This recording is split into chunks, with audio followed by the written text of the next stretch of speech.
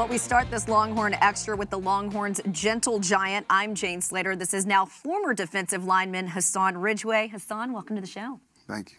Well, we looked at some of that video there. Uh, you decided to forego your final year at Texas in favor of the draft, which is now a month away on April 28th.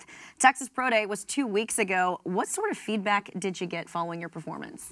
Um, I got good feedback. Uh, said I performed really well in my workouts and at the little couple drills that I did to get better at from the combine. They said I did really well at. So, how do you think you did? I think I did good. I came out there uh, ready to show people that uh, people say I had a little slow time at the combine of like all D linemen. I was like, there's no way. So go out there and show them that I could, I'm able to move fast. That was it. Were there any other questions they had about you, and how did you address some of those specific concerns? Um, I had a, uh, I guess a, a bad uh, bench press at the the combine. I feel like I had 24 reps.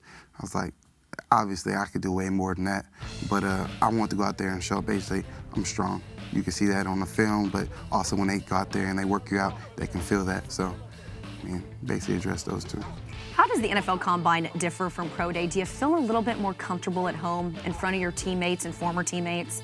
Oh, it's a it's completely different when you got. I say I was working out with Tank and Shiro, and you got Duke, the Jay. I mean, everybody. When you have your your teammates like that right there with you, it's a little, it's a whole lot different than at the combine. I mean, it's a different kind of feel. What is the feel like at the combine? Uh, best word I could probably describe it is stressful. As it's probably, it's just not uh, stressful. I say that because you, are going through so much. There's so much coming at you. You're doing so much. It's, it's kind of chaotic. I've got to imagine it is very weird having someone with a measuring stick, measuring every aspect of your body, asking you some of the most personal questions. Um, it is far more thorough than any interview process I've ever been through, so I can only imagine. I've got to ask you, what's happening in the process right now for you? Um, right now, uh, have workouts, flying out to different teams, uh, meeting with people, uh, that kind of thing. And then coming back in between that, you got to make sure you're working out. So, of course, you got to go back with Coach Moorer and get get your body right, stay right. So. Is he stepping things up for you right now still? Oh, he never has stepped down. So it's, uh, it's always been, you know, tough in the weight room with him. Well, if a team wanted to see you at your best, what game would you have them watch? I would probably say Oklahoma State. Oklahoma State game, why? Well, I would love getting sacked. I mean, but when you're able to do something you like to do, get a sack and also score, I mean, that's a that's having ice cream and cake. I mean, you can eat both. Well, after completing the NFL Combine in February, what was the most interesting part to you?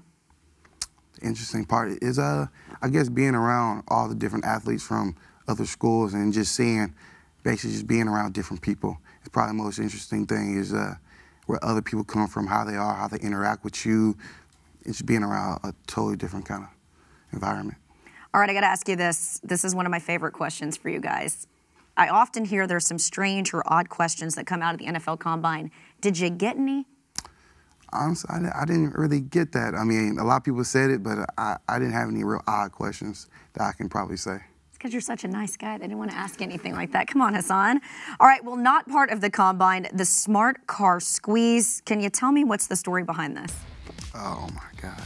Um, well, I think me, Jake, and uh, I think uh, Flowers, one of the old linemen, we were all going to go eat.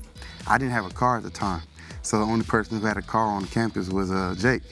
And so uh, Sid, he's not as you know flexible as me, and I wasn't able to make it. So we had to, I think, rock, paper, scissors or something to get who he was going to get in the back. I ended up losing, obviously, so I was in the back seat, and I had to, I had to make it. that smart car was riding very low to the ground. I can imagine. Oh, it was, it was bad. It was a bad day for me.